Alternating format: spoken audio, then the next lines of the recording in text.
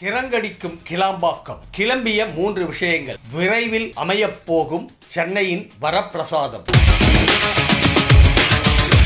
கிளாம்பாக்கம் பேருந்து நிலையம் திறப்பு விழாவை நோக்கி நகர்ந்து வரும் நிலையில் நூறு பேருந்துகளை வைத்து கிளாம்பாக்கம் பேருந்து நிலையத்தில் சோதனை ஓட்டம் துவங்கப்பட்டுள்ளது. இந்த நிலையில் சில வசதிகளை கூடுதலாக செய்து தந்தால் பயணிகளுக்கு உதவியாக இருக்கும் என்ற கோரிக்கைகளும் கிளம்பியுள்ளன. கிளாம்பாக்கத்தில் வடிகால் வசதி படிகள் மிச்சம் இருப்பதால் தான் பேருந்து நிலையம் திறப்பது தள்ளிப்போனது. ஜிஎஸ்டி சாலையில் புதிதாக கால்வாய் மற்றும் கல்வெட்டு அமைப்பதற்கான படிகளை ரூபாய் பதினேழு கோடியில் செயல்படுத்தும் பணிகளும் நடந்தன. அதே போல பஸ் ஸ்டாண்டில் இருந்து வெளியேறும் மழைநீர் சுமார் நூத்தி எண்பது அடி நீளமுள்ள ஜிஎஸ்டி சாலையை கடந்து கிளாம்பாக்கம் ஏரி மற்றும் வண்டலூர் ஏரிகளுக்கும் செல்லும் வகையில் மழைநீர் வடி கால்வாய் அமைக்கும் பணிகளும் நடந்தன.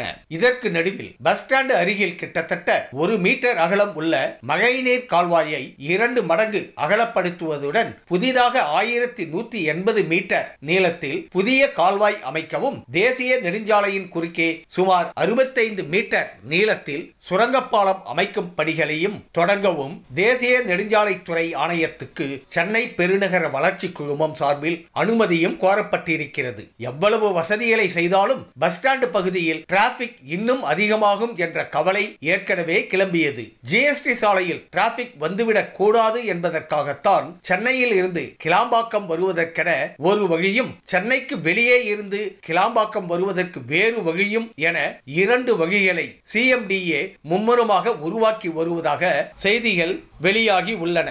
எனினும் பொதுமக்கள் மற்றும் வாகன ஓட்டிகள் தரப்பிலிருந்து இரண்டு விதமான கோரிக்கைகள் விடுக்கப்பட்டு வருகின்றன. சென்னையின் நாலாபுர பக்கங்களில் இருந்தும் பயணிகள் கிளாம்பாக்கம் பஸ் ஸ்டாண்டுக்கு வர வேண்டுமானால் பஸ் ஆட்டோ அல்லது கேப்களில் தான் பஸ் ஸ்டாண்டுக்கு வந்து சேர வேண்டியது இருக்கும் ஏற்கனவே ஜிஎஸ்டி ரோட்டில் டிராபிக் ஜாம் நெருக்கி தள்ளும் நிலையில் இந்த நிலைமை வந்துவிட்டால் இன்னும் டிராபிக் அதிகமாகிவிடும். அதனால் கிளாம்பாக்கம் பஸ் ஸ்டாண்டுக்கு வருபவர்களும் சரி வெளியூரிலிருந்து வந்திறங்கும் பயணிகளும் சரி மொத்தமாக வந்து சேரும் போது நெரிசல் விழி பிதுங்கிவிடும். இதையெல்லாம் தவிர்க்க வேண்டுமானால் உடனடியாக அந்த பகுதியில் ரயில் நிலையம் அமைக்கும் பணியை மேற்கொள்ள வேண்டும் என்று கோரி வருகிறார்கள் அப்பகுதி மக்கள்.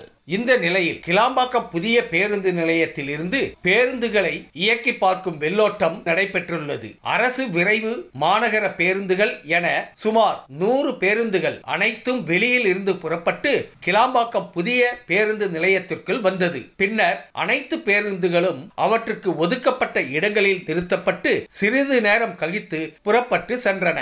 இதன் காரணமாக விரைவில் இது தொடர்பாக நல்ல செய்தி வரும் என எதிர்பார்க்கப்படுகிறது. மேலும் இந்த சோதனை ஓட்டத்தை அதிகாரிகள் குழு சார்பில் கண்காணிக்கப்பட்டுள்ளது.